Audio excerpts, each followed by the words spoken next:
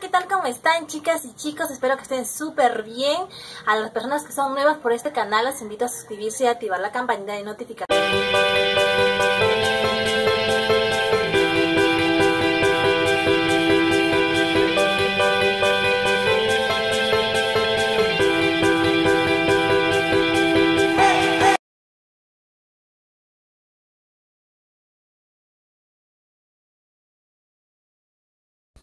Hola, como ya todos saben, el día de hoy vamos a hablar sobre Facebook. Si no conoces exactamente de dónde nació Facebook, bueno, el creador se llama Mark Zuckerberg. Si no están informados, Facebook fue creado hace 14 años más o menos. Así que vamos a hablar de la tecnocracia y quédate viendo este video si te interesa. Sigue viendo este video. No olvides suscribirte si no lo has hecho, compartir este video y dejarme un comentario qué tal te pareció.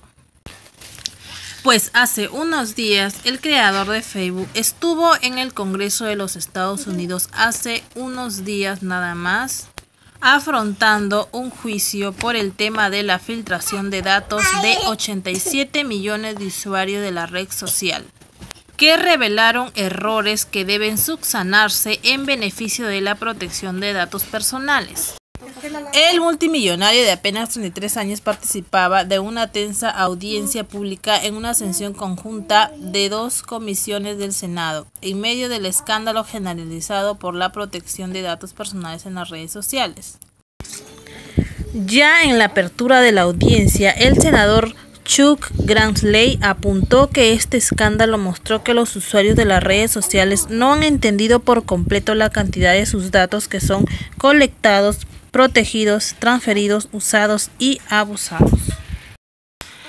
Asimismo, asumió de forma personal las culpas por lo ocurrido.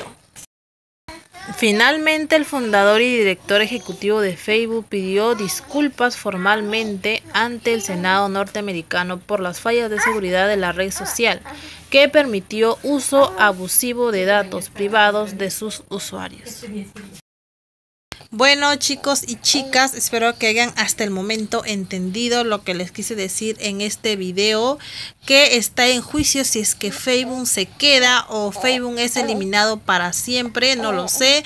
Díganme en los comentarios si están de acuerdo que eliminen Facebook o se quede, aún no se sabe, así que vamos a esperar el juicio final si es que Facebook o pierde. Si pierde, se elimina completamente Facebook y si gana, bueno, Facebook seguirá existiendo.